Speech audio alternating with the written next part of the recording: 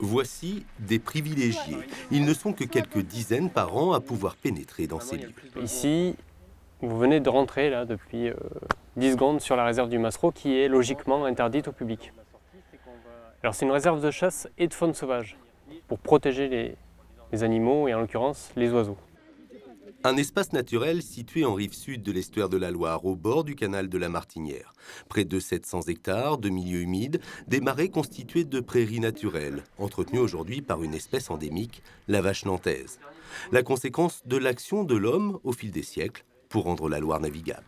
20 mètres derrière nous, c'était le bras principal de l'estuaire de la Loire. S'appelait le bras du Migron. Et il y a encore 50 ans de ça, ce bras-là, il était très important. Tu vois bien le nid maintenant? Ouais. La propriété désormais d'une faune sauvage est diversifiée. Pour aller à sa rencontre, il suffit juste de vagabonder et de poser son regard sur le paysage environnant.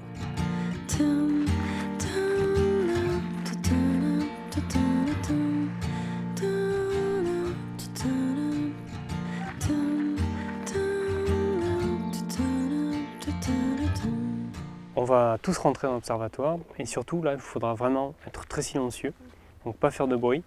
Donc l'intérêt c'est de ne pas les déranger. La réserve abrite plus d'une vingtaine d'espèces, canards soufflés, siffleurs, chipots, sarcelles d'hiver, aigrettes ou encore hérons cendrés. Vous voyez le rapace là en haut? Ouais. Donc ça c'est une buse, c'est elle qui les fait décoller. Des oiseaux migrateurs qui trouvent là un espace de reproduction et d'alimentation et qu'il s'agit de reconnaître. Sur le front. Oui. Reine blanche. Mais l'autre espèce Alors c'était la sarcelle d'hiver. Parce qu'il y en a une, elle a la crête marron aussi. Voilà. Marron rouge. Rouge avec du vert. Ouais, c'est ça, j'ai Et vu. c'est le seul canard qui a, qui a, la sarcelle qui a du rouge et du vert à la fois sur la tête. Avec des découvertes parfois étonnantes. Ils ont développé une technique qui euh, ils sont tout à fait adaptés aux prédateurs de jour. C'est-à-dire qu'ils ont le cerveau divisé en deux. Voilà, donc ils reposent une partie du cerveau. Ils alternent toutes les 10 à 20 secondes. Ils font des micro-siestes. Et ils se reposent aussi généralement où il y a beaucoup d'oiseaux, parce que le nombre fait qu'il y a toujours un guetteur dans le groupe. Un spectacle surprenant dans un cadre naturel singulier. Écoutez, déjà, euh, ce qu'on voit, c'est vraiment euh, très, très, euh, très, très joli. Et euh, aussi, voir autant de canards, euh, moi, je n'ai jamais vu autant. Et je pense pas non plus que les résidents dont on s'occupe ont, ont eu l'occasion euh, de voir ça. Et j'espère qu'ils garderont ça aussi en souvenir.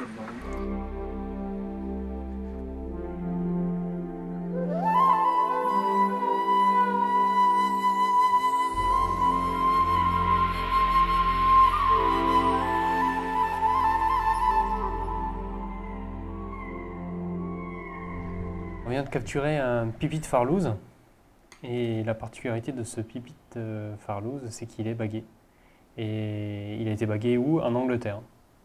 Donc c'est pas nous qui l'avons bagué, c'est une bague anglaise, il y a écrit British Museum London dessus. Ça veut vraiment dire qu'on est, qu'on est au carrefour des migrations, euh, y compris pour les oiseaux qui viennent de l'Est, Russie, Pologne, etc., mais aussi pour les oiseaux qui viennent d'Angleterre et qui vont aller migrer plus au sud. Lieu de recherche, de bagages, la réserve du Massereau et plus généralement l'estuaire de la Loire demeure le second site majeur d'hivernage des oiseaux migrateurs avec la Camargue. Un biotope essentiel qui joue également le rôle de régulateur du niveau des eaux du fleuve. En quelque sorte, les zones humides euh, sont en voie de disparition. On a perdu, euh, pour donner un chiffre, 50% des zones humides en 50 ans. Or, ces zones-là sont très intéressantes et sont très riches pour la biodiversité et, et sont vitales même à l'homme. Donc, il convient de les conserver.